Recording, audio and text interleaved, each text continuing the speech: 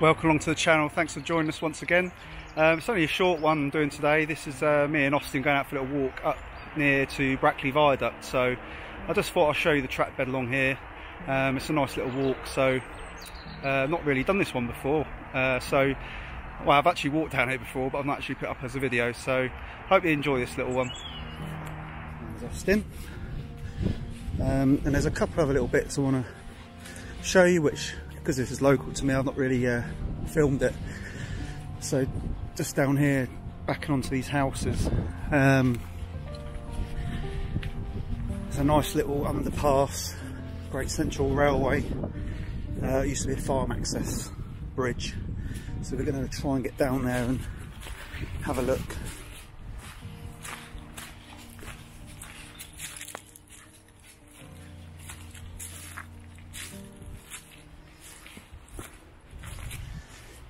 See it's all been dug out. Actually, I don't think we can go that way. We've got to go back, back down this way. Austin. Right, so while we make our way to the uh, underpass, just got across to the other side of the track bed. So this would have been heading towards the Brackley Viaduct, and then back this way would have been towards Brackley Station, Brackley Central Station. And there's an industrial estate on the track bed there, top station road. So let's go down this uh, rather steep embankment.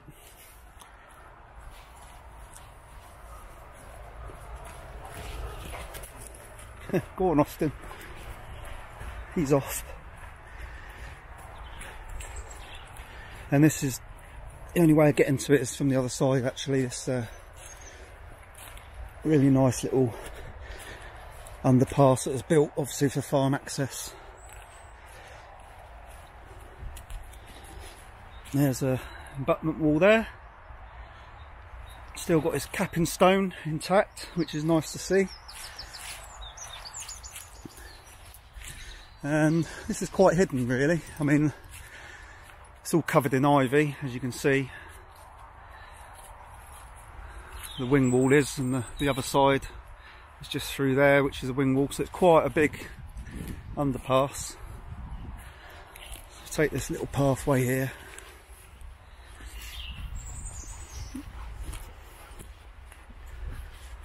Yeah it's all covered in ivy you'll get the idea of the scale when I get to the other side.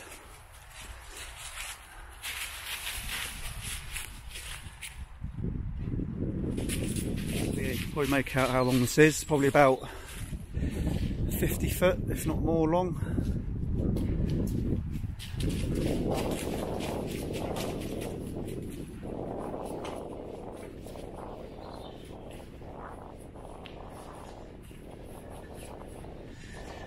Last come down here is a tree that was leaning against the, uh, wall at the top, so these trees have been recently planted. Let's see if I can squeeze through.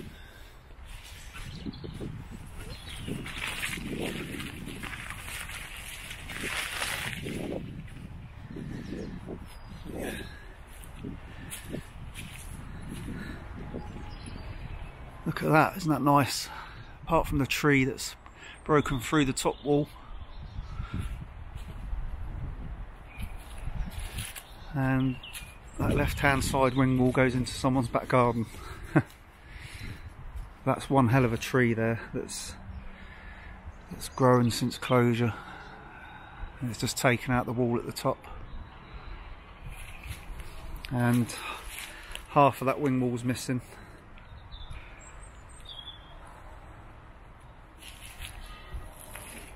So yeah, it's very similar to uh, the underpass at Helmdon. Um, not as long, but it's a similar sort of thing. But it's a grand structure, isn't it, for farm access. So there, there we go. So we'll continue walking along the track bed towards where the viaduct was and I'll try and pop up some pictures towards the end to give you an idea of what Brackley Viaduct used to look like.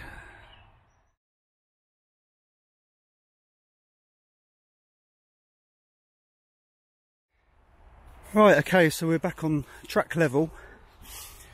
So, as you can see, it's very overgrown, this section of the Great Central.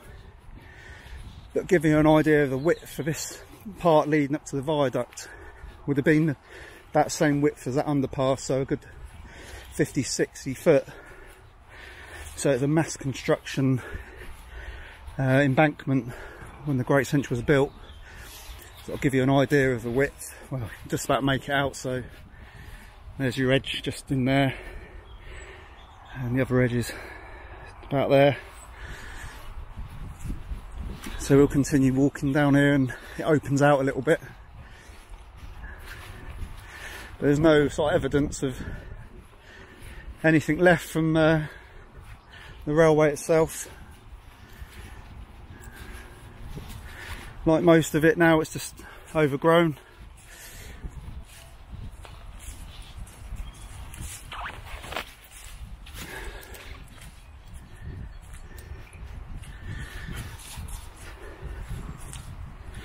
So about another 200 metres further up would, would be the uh, Brackley Viaduct, which is obviously the one of the grand well, it was the grandest structure of the Great Central, and it lasted until well 12 years after the railway closed. So it was, it was blown up in 1978. Um, there is some footage somewhere on YouTube if you if you look it up to do with uh, Brackley Viaduct, some old footage of it. It's sadly coming down. And the uh, just going back to where we're walking, so now it's just starting to thin out a little bit and just see the edges quite clearly. And just in there. So yeah, going back to the viaduct, it was blown up in 1978. Um, all the hardcore was sold off to the building, well, part of the road building of Milton Keynes. So the chap who bought the viaduct um, was a farmer, I think. And he basically, for what he bought the viaduct for, he got more back in hardcore. So, bit of a shame really, because it would have been a, a real icon now, especially for the town of Brackley, if it is still here. But it's just one of these things, you know, once the railway shuts, it's the maintenance of these massive viaducts that obviously uh, cost a fortune.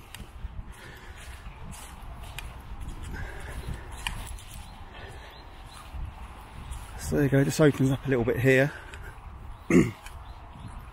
Haven't got any leftover structures like P-way huts or anything along here, it's just literally what you see. Just a nice little walkway.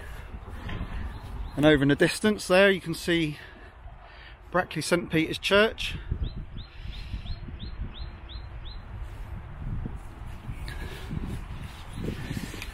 Come on in Austin. You're sniffing everything. Yeah.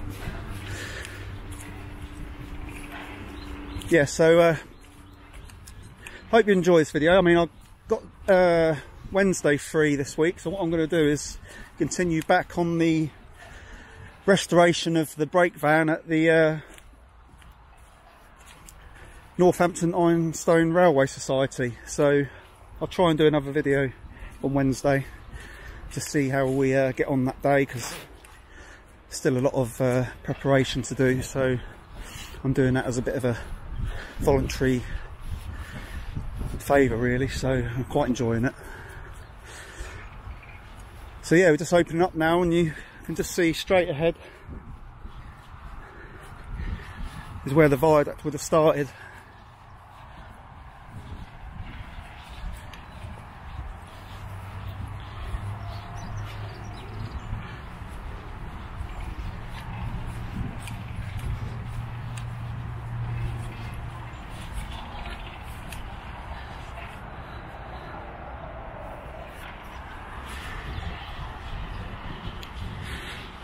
So you can just see where the ground drops just in front of me here. It's where roughly where the viaduct would have started.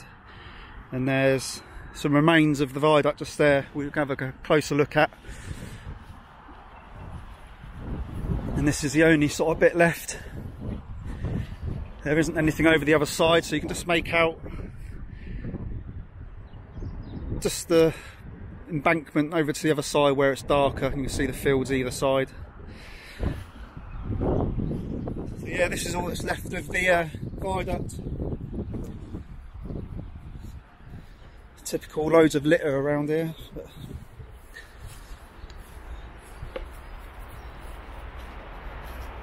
So you can just make out how it was made and how thick it was.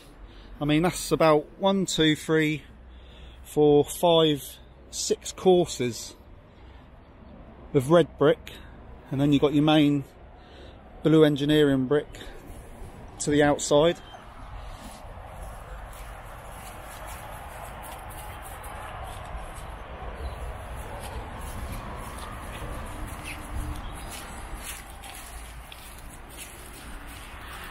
In that sad sight? Just that one little bit of arch that's left.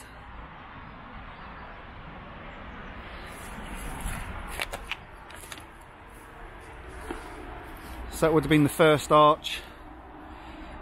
Would went over to about where Austin is, or a little bit further down. You can see the scale of this uh, viaduct, 22 arches. You know you can see the depth of the,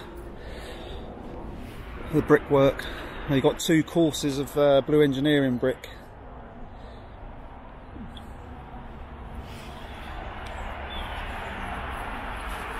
wait Austin stop rubbing in that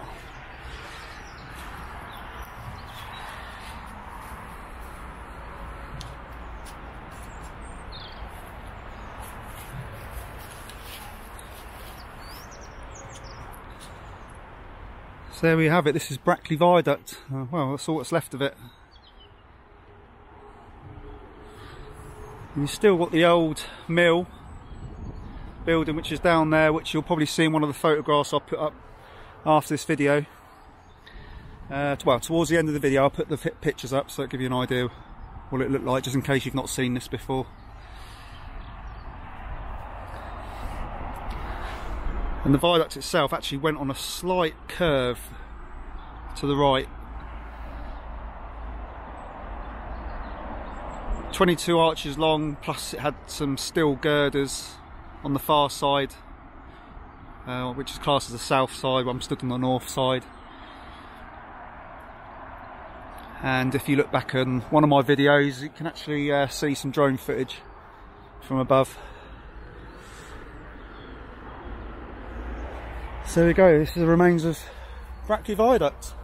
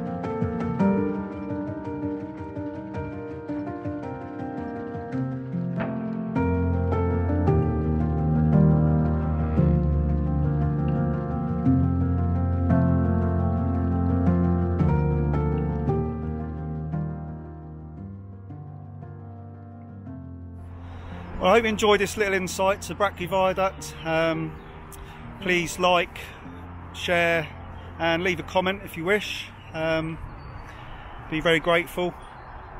And uh, hope you enjoyed this and we'll see you on the next one. Bye for now.